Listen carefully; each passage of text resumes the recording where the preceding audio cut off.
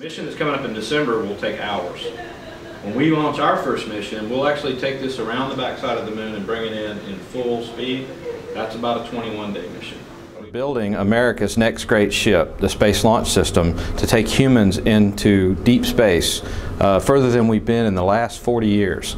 And I want to come talk to the Ole Miss students here today because they're going to be the folks that are operating this vehicle for a generation to come. This spaceship is about serving humanity, and to me, it's a natural connection that the agency's flagship program will be spending a few hours at one of our nation state's flagship universities.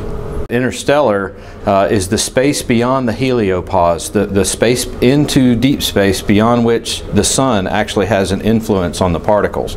Uh, we launched a, a, mission called Voyager over 30 years ago. It took 30 years to get to that spot.